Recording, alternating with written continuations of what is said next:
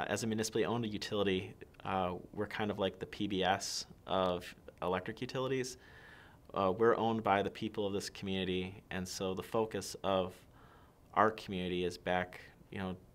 to those very same people. So the Village of L'Anse was interested in the possibility of starting a community solar program, but they weren't really sure if there was enough interest in the local community and if it would be affordable for people to participate in. And so they contacted us um, with the idea of doing a collaborative research project that would involve students and faculty at Michigan Tech, but also community members in L'Anse, um, some of the local organizations, and WPPI Energy, um, and WUPPDR as well, to work together to better understand whether there was interest in the local community, and then if there was, how we could they could best design a program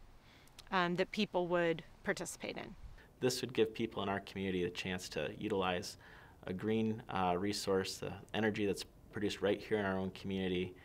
uh, and, and spread their risk across the, uh, everybody else in the community by participating in a program that's owned by the community. Well, I have been to many meetings. Uh, I've gone with Bob to, to many of the meetings. I'm very interested in actually seeing how something like this could happen. So, uh, with Bob's help, I've gotten involved, and uh, I, when it came to, to be, I ran down and bought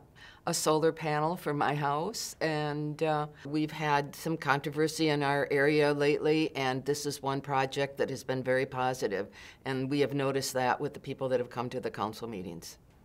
And so rather than coming into these meetings with a fully formed project that we were presenting to members of the community, we were really there to listen and to receive input. We also, in doing a survey of ratepayers here in the community, some of the survey data was collected by going door to door, which meant that there were students out in the community collecting these surveys, but also getting to hear from people um, right at their door about their different ideas or concerns. And that meant that we got a wider array of inputs and ideas than we would have if we had just had a meeting where we presented results and then asked for feedback on that. A lot of renewable energy projects are kind of led from the outside. Maybe a utility wants to build solar panels or wind turbines in a community, and they might even frame it as a community energy project. But if they're not really involving people in the community in the discussions from the beginning time, some of those projects are either doomed to fail or don't necessarily gain a lot of community support.